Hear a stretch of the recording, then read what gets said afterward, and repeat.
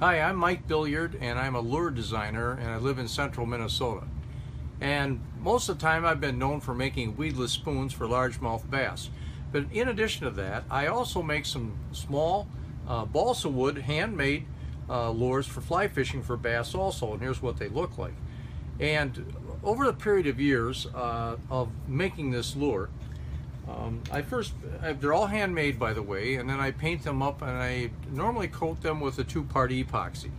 And that's worked okay for me over a period of years, but the only problem that I have with most of the epoxies out there is that they turn kind of a nasty yellow uh, color after a while, especially if you've been out on the water and in the sun, uh, exposed to the to the, the sunlight. And uh, I've never really liked that because it kind of wrecks the, the look of the lure. And then um, somehow I found on the internet art resin. I'm not sure exactly how I uh, came across them, but in their marketing materials, uh, it's a two-part epoxy. It's used for a lot of different uh, things. And you can find them at artresin.com. And uh, it's used for a lot of different things, but in their marketing materials, it did say that uh, it shouldn't yellow. And I was pretty interested in that because I hadn't seen an epoxy yet that wouldn't yellow on me. So I contacted them and uh, told them I'd like to test it out. And they were nice enough to send me a small quantity of it for me to, to test. So this is my video review of art resin for the purpose that uh, I'm using it for.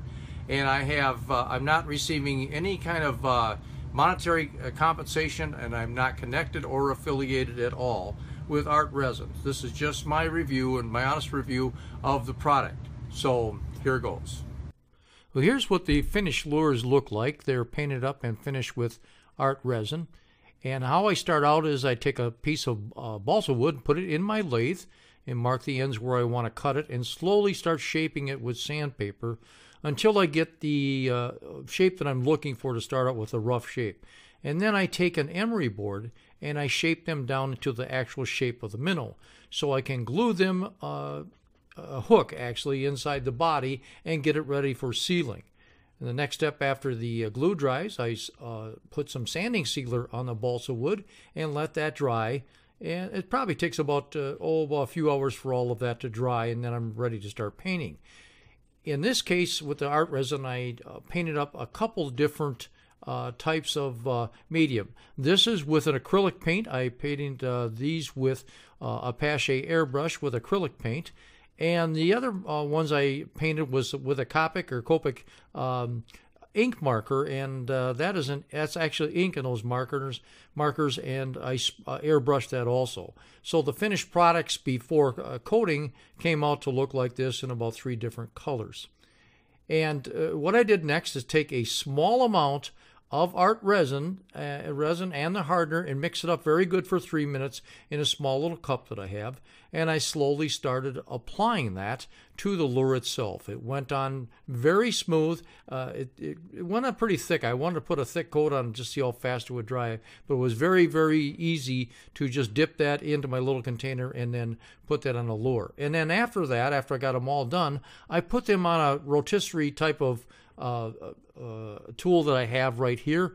And uh, once they're dried, which took about 24 to 36 hours, they came out very, very shiny and looked exactly like this.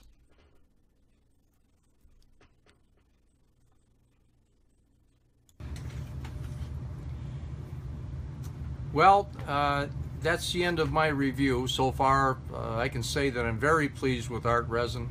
It seems to work really good. Uh, all of my lures, uh, my uh, balsa lures seem to dry really hard, very shiny, and uh, I'm anxious to put them on the water and test them out and see how they hold up with the sunlight.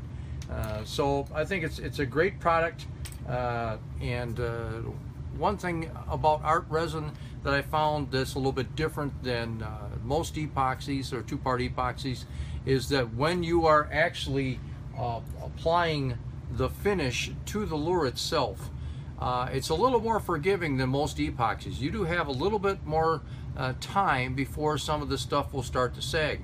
Now, uh, as you saw in the video, I put it on a turner, so when it's rotating around, uh, if it does start to sag, it will even out, and uh, I will get a nice smooth finish.